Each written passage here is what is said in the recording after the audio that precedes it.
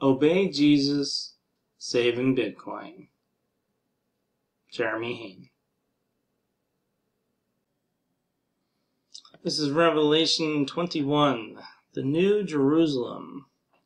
Then I saw a new heaven and a new earth. The old heaven and the old earth had disappeared, and the sea was also gone. And I saw the holy city, the New Jerusalem, coming down from God out of heaven, like a bride beautifully dressed for her husband. I heard a loud shout from the throne, saying, Look, God's home is now among his people. He will live with them, and they will be his people. God himself will be with them. He will wipe every tear from their eyes, and there will be no more death or sorrow or crying or pain. All these things are gone forever. And the one sitting on the throne said, Look, I am making everything new.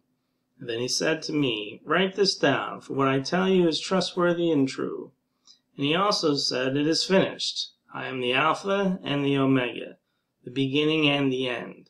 To all who are thirsty I will give freely from the springs of the water of life. All who are victorious will inherit all these blessings, and I will be their God, and they will be my children. But cowards, unbelievers, the corrupt, murderers, the immoral, those who practice witchcraft, idol worshippers, and all liars, their fate is in the fiery lake of burning sulphur. This is the second death. Then one of the seven angels who held the seven bowls containing the seven last plagues came and said to me, Come with me, I will show you the bride, the wife of the Lamb. So he took me in the Spirit to a great high mountain, and he showed me the holy city, Jerusalem, descending out of heaven from God.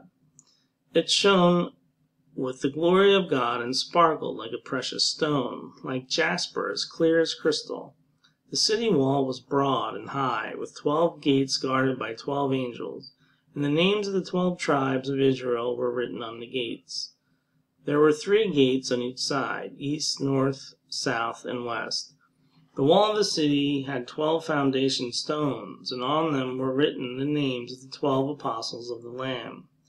The angel who talked to me held in his hand a gold measuring stick to measure the city, its gates, and its wall. When he measured it, he found it was a square, as wide as it was long. In fact, its length and width and height were each fourteen hundred miles. Then he measured the walls and found them to be 216 feet thick, according to the human standard used by the angel. The wall was made of jasper, and the city was pure gold, as clear as glass. The wall of the city was built on foundation stones inlaid with twelve precious stones. The first was jasper, the second sapphire, the third agate, the fourth emerald, the fifth onyx, the sixth carnelian, the seventh chrysolite, the eighth beryl, the ninth topaz, the tenth chrysoprase, the eleventh jacinth, and the twelfth amethyst. The twelve gates were made of pearls, each gate from a single pearl. And the main street was pure gold, as clear as glass. I saw no temple in the city, for the Lord God Almighty and the Lamb are its temple. And the city has no need of sun or moon, for the glory of God illuminates the city, and the Lamb is its light. The nations will walk in its light, and the kings of the world will enter the city in all their glory. Its gates will never be closed at the end of day, because there is no night there, and all the nations will bring their glory and honor into the city.